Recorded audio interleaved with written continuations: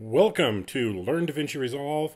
This is Kerry, and today we're going to look at different ways of fading in and out your audio using DaVinci Resolve. Stay right there.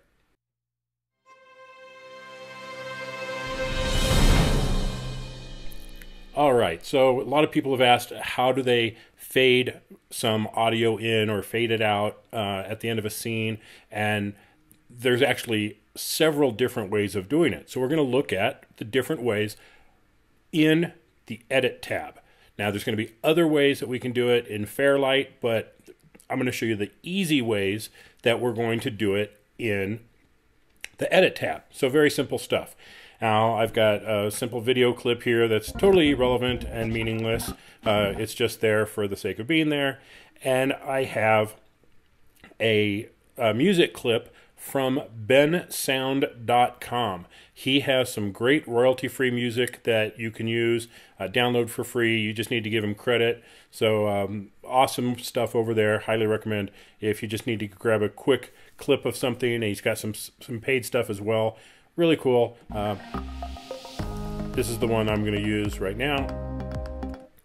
And we're just going to cut this thing up and I'm going to take a section here. I'm going to use my blade tool, cut it, and just move a segment out of the way so we can work with just this small segment right here. So first thing, we can use the transition handles.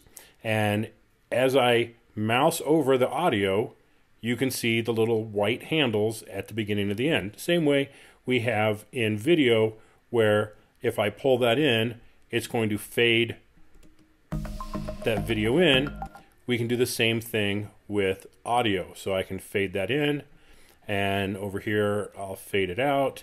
I'll actually cut this over here. I'll move this section out of the way and I'll fade this out. So now when we watch this,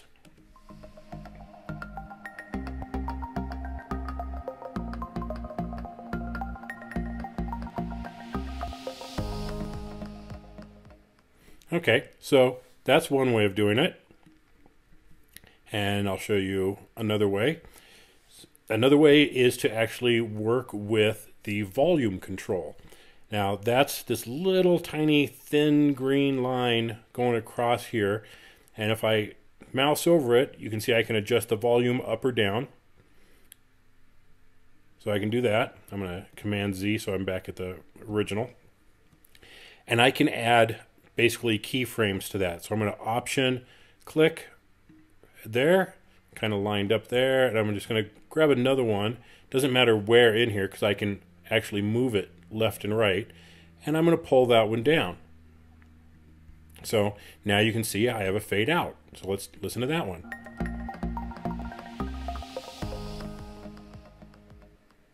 So that's a second way of doing it. So I'll undo that.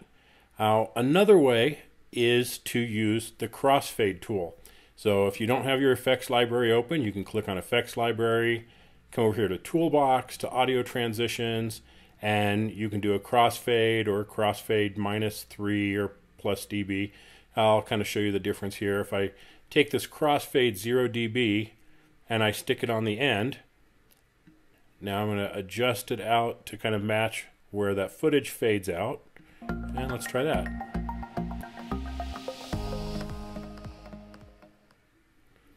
So, number of different ways. Now, the advantage of doing it with the crossfade is if you click on it and open up the inspector, now I have a little finer control over this one. So I can set my duration so it's exactly where I want it to be how many frames, my alignment, end on the edit, center on the edit, start on the edit. Now, if I do this, watch this, uh, watch the timeline there. If I say center on edit, it's going to shift it over to the side. Now, this is great if I'm transitioning from one audio track or one audio clip to another audio clip and I want to fade one out and fade one in. I can center on the edit. I can start on the edit, which is going to kind of be the exact opposite of what I want for fading out music, or end on the edit. So a little bit more control here. Audio transition styles. uh, crossfade, crossfade negative 3 dB, crossfade plus 3 dB. And in the crossfade, how do I want it to fade in and out? So some nice control doing it this way. Now, shortcut for this, just like with any of the um, transitions on video, you can have a default one. Well, you can see the red line next to crossfade 0 dB has the red line, meaning it's the default. So if I have the audio clip selected and I hit Option T or Command T on a Mac, hit Command T, it's going to add those transitions to the beginning and end automatically for me. So fade in. Get to the end here. And it'll fade out. That is a standard crossfade. So if I go to the inspector, I can control it or I can just grab the end of it and stretch it out. And you can see it changes there in the inspector. And there we have it. So a couple really simple ways of doing audio transitions, fading in, fading out. And I hope this answered the question out there on how to do this. And like I said, there's a couple different ways. One of the things I love about DaVinci Resolve is there's always a couple different ways to do most of the things you want to do.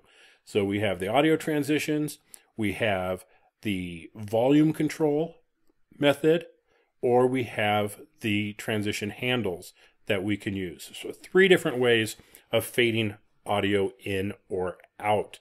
Hopefully you liked this video. If you did, be sure and share it and click on that like button and subscribe if you haven't already subscribed. And if you are, make sure you click that bell icon so you actually get a notification whenever I put out a new video. If you really like the stuff I'm doing, check out the Patreon link down in the description. Every little bit helps out so I can uh, get some more stuff in here and do some more giveaways and drawings and things that are all coming up.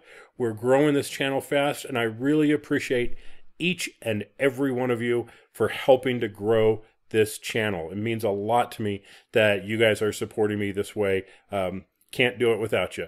So thanks for watching. I will catch you next time. Bye bye.